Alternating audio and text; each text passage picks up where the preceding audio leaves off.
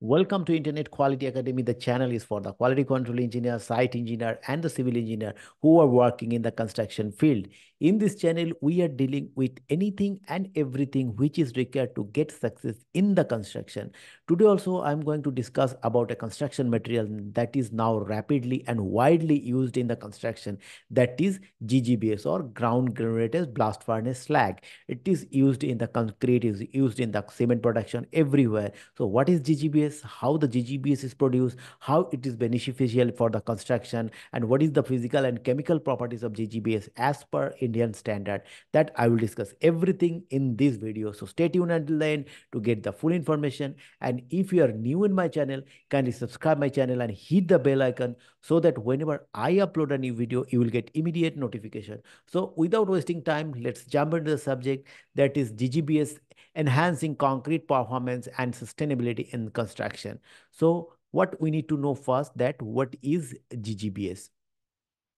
The GGBS is a byproduct of iron and steel manufacturing of, obtained by quenching molten iron slag from a blast furnace in water steam to produce a glossy granular product that is often then dried and ground into a fine powder. So that is the GGBS. So it is a byproduct in the iron industry. So whenever it is a byproduct, either it will be disposed to where it will be disposed, disposed to the earth. And again, it will be against the environment. Now, what we need to know? We need to use that one or you to reuse that one so that there will be a less uh, impact on the environment. So that is why GGBS are uh, introduced in the construction.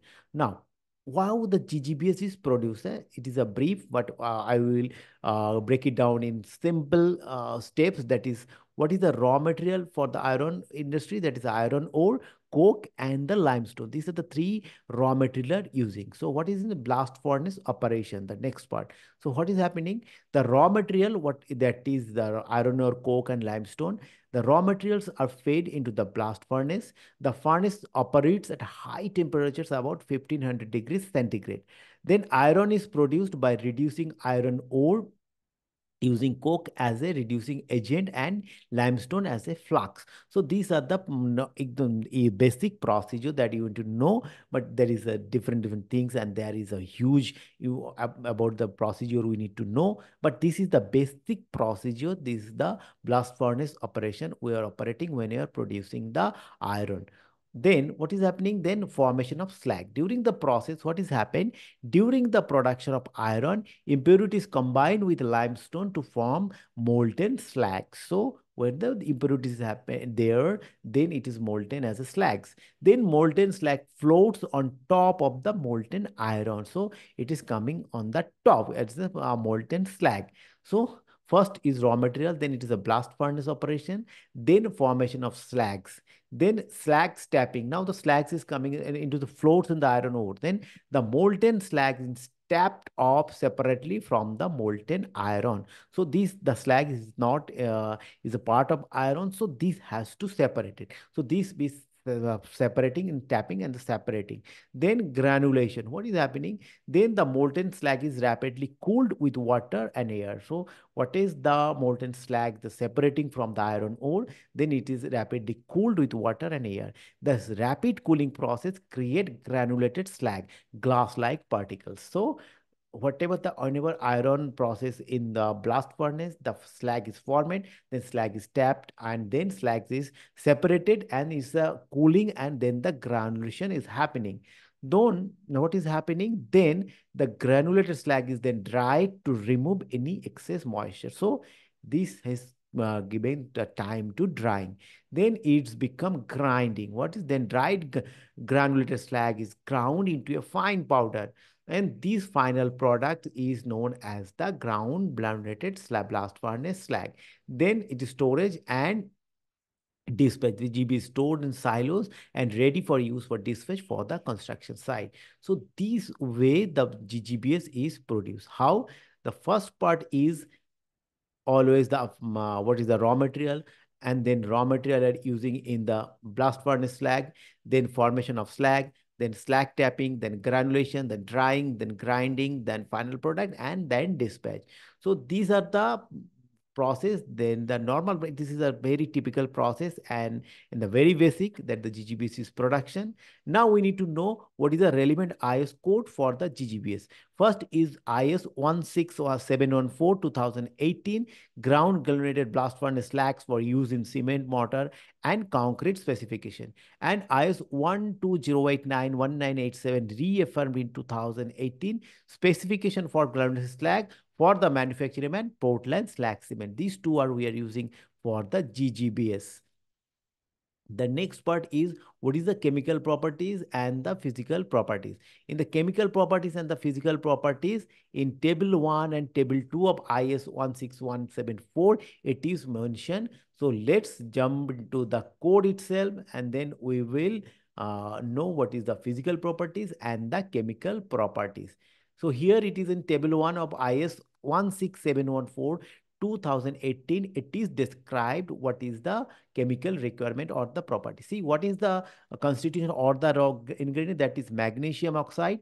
Magnesium oxide uh, and this manganese oxide magnesium oxide sulfide sulfur sulfate uh, insoluble residue, chloride content, loss of ignition, then CaO plus MgO uh, one third of L2O3 divided by Si2, that is, then CO, MgO and L2, this percent also. So what is the percentage by mass? See here you can say manganese oxide maximum 5.5, ma magnesium oxide maximum 17%, sulfide, sulfide oxide 2%, sulfate 3%, insoluble residue 3%, chloride content 0.1% see chloride content is very less. That is why it can use uh, it can be used in the concrete because chloride ion is not good for the concrete for as well as the iron. It will uh, start corroding. So that is why chloride percent is very less. Then loss of ignition is 3% and here is also uh, for granulated slag with 2.5% MNO.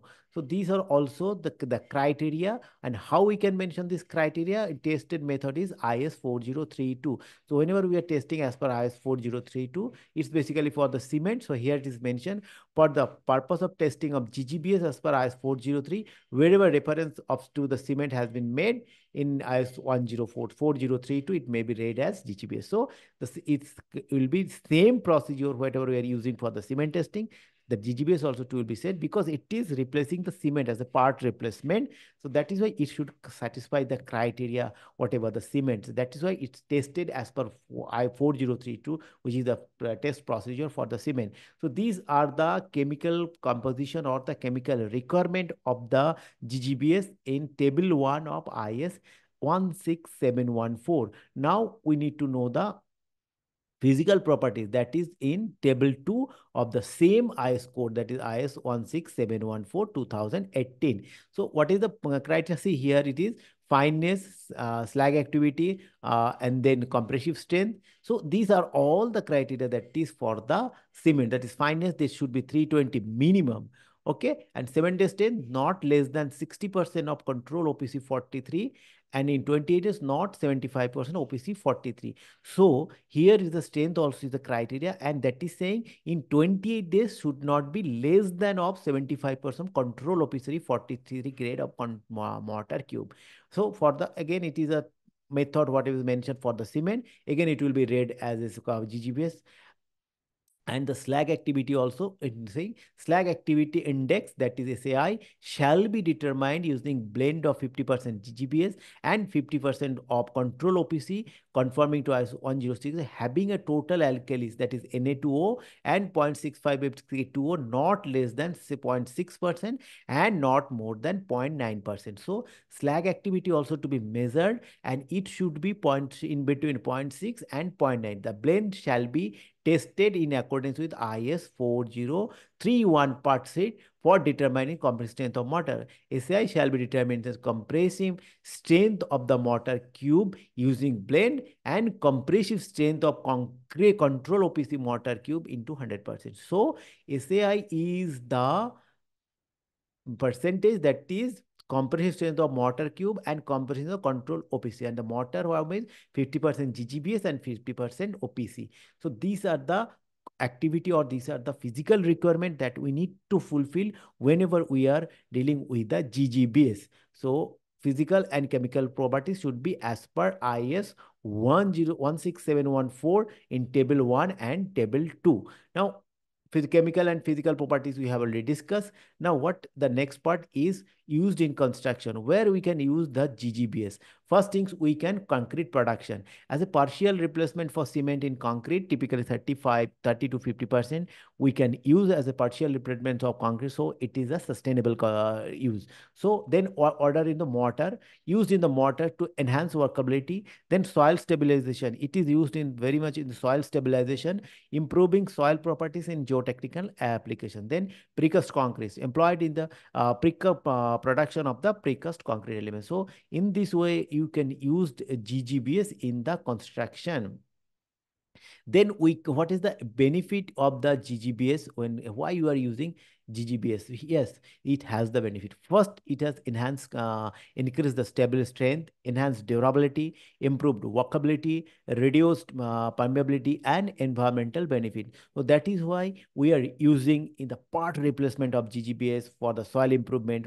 So it has the if uh, immense use in the construction because it is a byproduct. Either way, it has to dispose. So if you dispose directly to the environment, it is going to against the environment. It is a land contaminations, air contamination, water contamination will happen. So if we are using in the GGBS, we are improving the environmental benefits. So these are the benefits of GGBS. Now, how it is used in the sustainability part of construction, that is, it is reducing the carbon footprint. Using GGBS can significantly reduce the carbon emission associated with the cement production.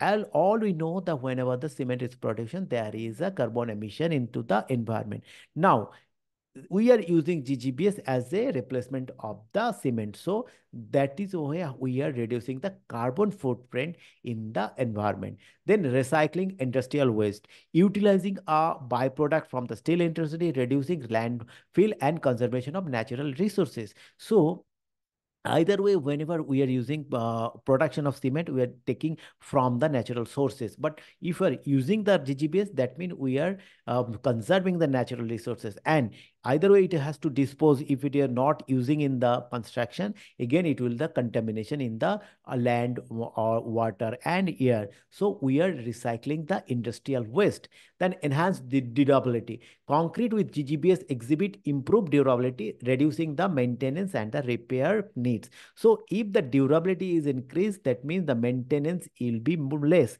So we are enhancing the durability. And the lower heat of hydration the heat of hydration is very much important whenever the strength is developed. But the same time if the heat of hydration is more then it exhibit the thermal crack in the concrete which is not uh, good for the concrete. So whenever we are using the ggbs reduces the heat of hydration, beneficial in mass concrete application to minimize the risk of thermal cracking. So in this way also it is a sustainability construction and improve workability. GGBS impairs, impairs better workability and pumpability of the concrete mix.